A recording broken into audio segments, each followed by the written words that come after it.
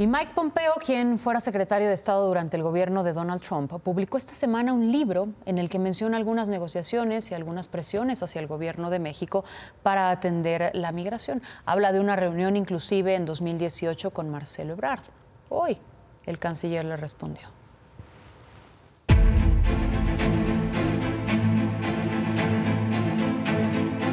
Primero fue Donald Trump, luego su yerno Jared Kushner y ahora el exsecretario de Estado Mike Pompeo.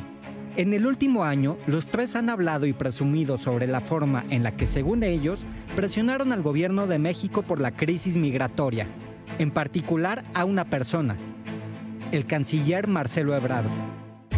Brillante, muy marxista, pragmático, con posibilidades de ser el próximo presidente de México.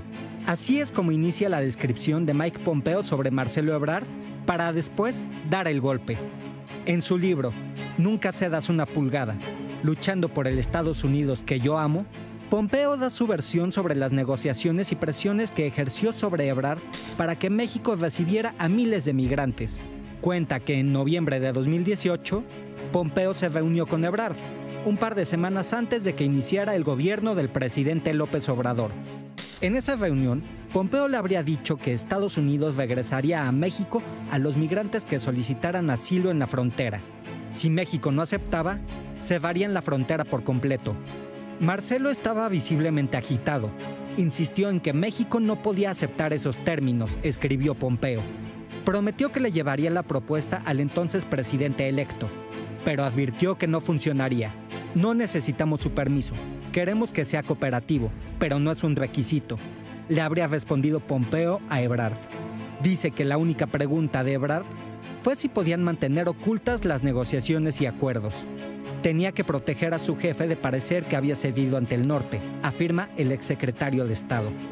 El canciller Ebrard respondió a los dichos de Pompeo y afirmó que es una campaña basada en ideas antimexicanas. Dice que México nunca aceptó un acuerdo de tercer país seguro y que haber evitado esa imposición es un logro del presidente López Obrador. Para el canciller Ebrard, los dichos de Pompeo son parte de una estrategia para utilizar a México como uno de los puntos centrales para construir una campaña presidencial hacia el próximo año. Pero en los hechos es la tercera vez en menos de un año que se mencionan supuestas negociaciones y acuerdos secretos de funcionarios de Estados Unidos con el canciller Ebrard. So in comes the highest representative of Mexico, right under the top, right under the boss, who happens to be president.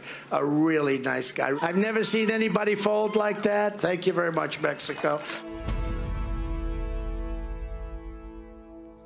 Palabra contra palabra. Pero hay que aclarar las cosas. No, bueno. Sí, porque en enero de 2019, ¿te acuerdas que el gobierno de Donald Trump implementó este famoso programa de Quédate en México?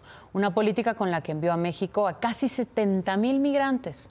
Es el programa que menciona Mike Pompeo en sus memorias, pero el gobierno de México siempre sostuvo que era una decisión unilateral de Estados Unidos. Tendrá documentos, algo más que su palabra el señor Pompeo.